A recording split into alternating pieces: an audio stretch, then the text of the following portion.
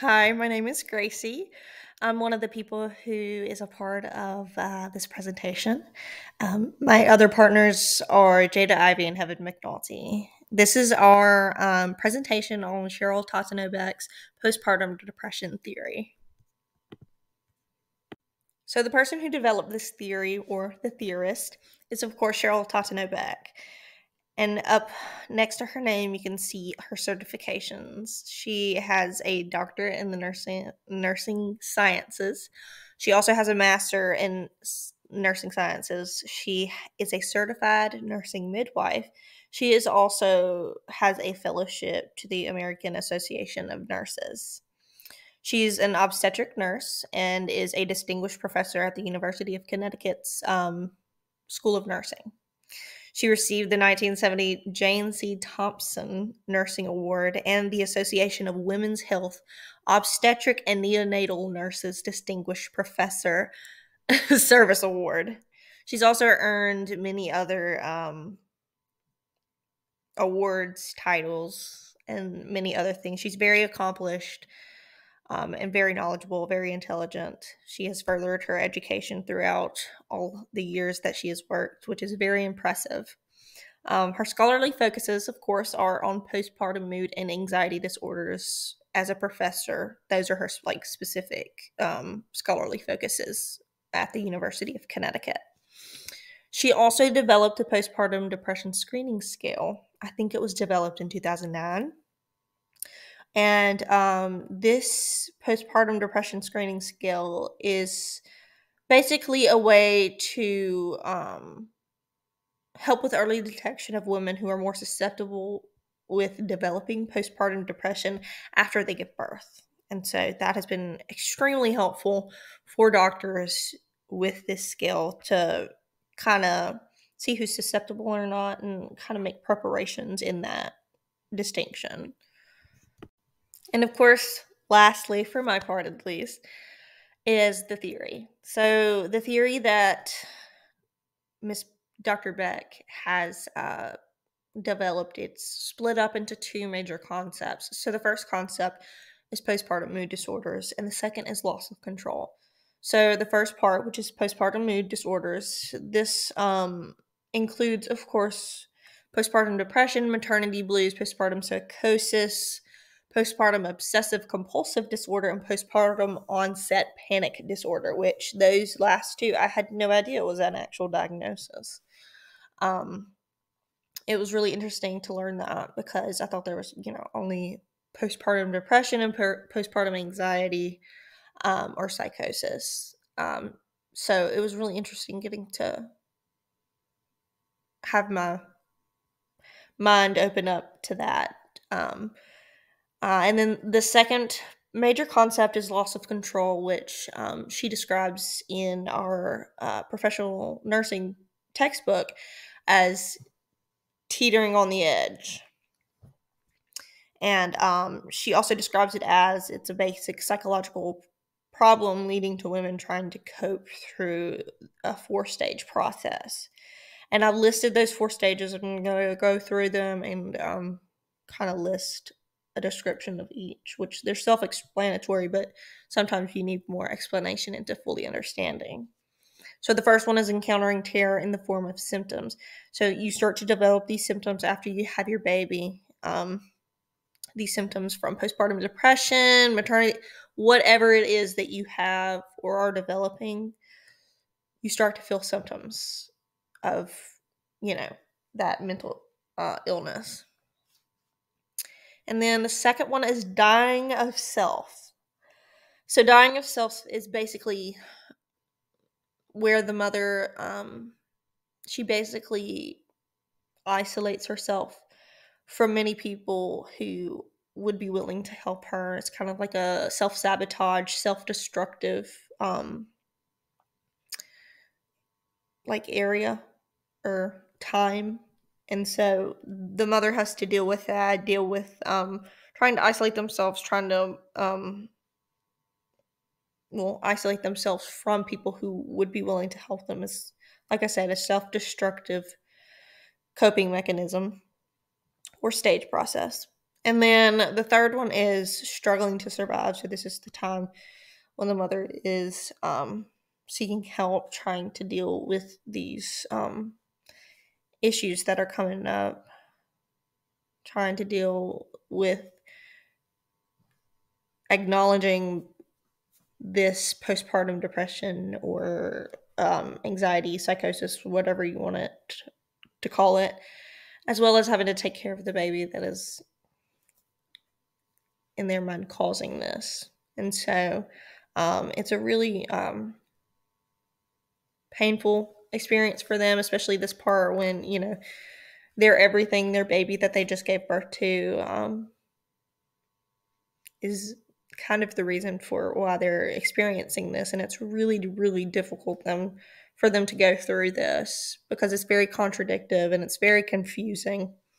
And then the last one, the fourth um, stage, is regaining control of their lives um, during the um, healing process.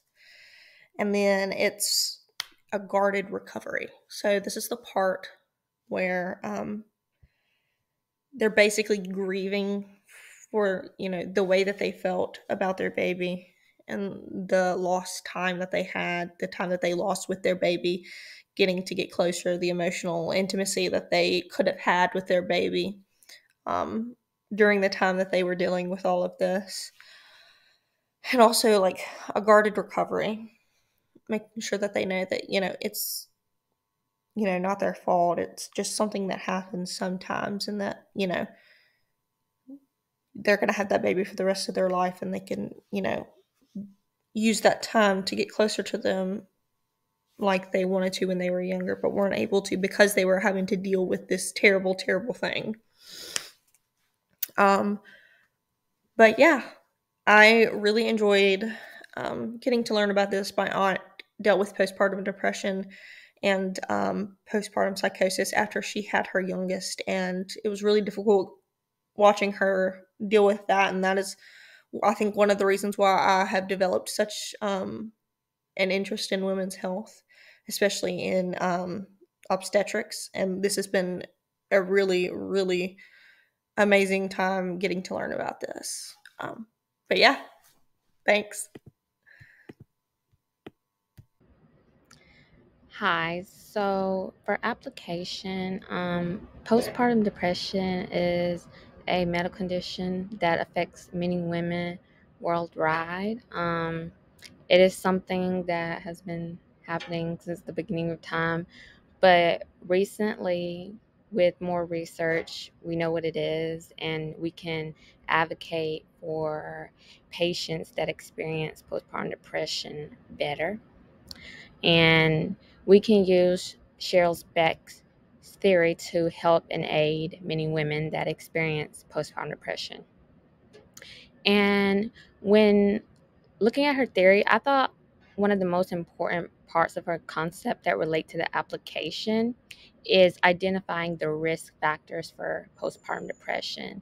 And these risks can include depression, stress, prenatal anxiety, socioeconomic status, and like unwanted pregnancy. Um, and as nurses, obviously, we can't prevent all these risks. Like, we don't control somebody's socioeconomic status or whether they had an unplanned pregnancy or not. But it is our job to identify them. And we should also aim to create an environment for patients where these risks aren't exacerbated and we can approach them with urgency and support to help them have a smooth birth and pregnancy.